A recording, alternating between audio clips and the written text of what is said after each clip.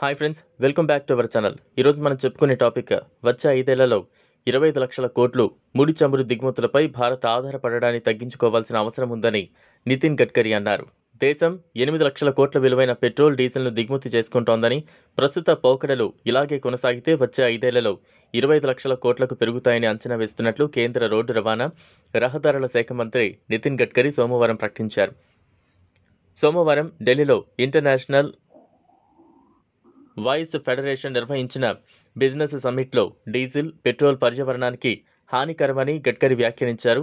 Petrol diesel వల్ల కలిగే కాలుష్యం గురించి ఢిల్లీ ప్రజలకు కూడా తెలుసునని ఆయన అన్నారు.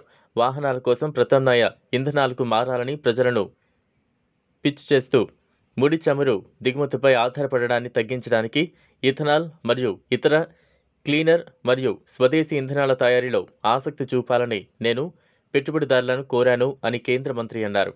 భవిష్యత్తులో దేశ ప్రజా రవాణా వ్యవస్థలో మార్పు వస్తుందని ప్రత్యామ్నాయ ఇంధనంగా మారుతుందని గడ్కరీ పేర్కొన్నారు.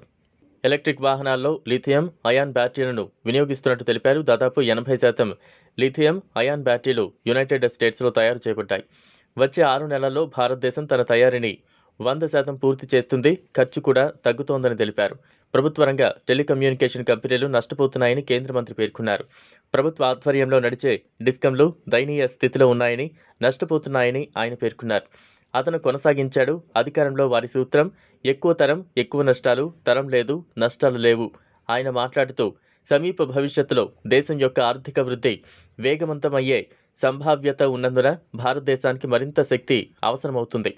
కాబట్టి బహుశా డిసెంబర్ జనవరి ఫిబ్రవరి మార్చ్ ఏప్రిల్ మరియు మేలలో మనం విద్యుత్ కొరతను సమస్యను ఎదుర్కోవచ్చు అన్నారాయన కమ్యూనిస్ట్ పార్టీ ఆఫ్ ఇండియా ప్రధాన కార్యదర్శి సీతారాం యేచూరి సోమవారం ప్రకటించారు.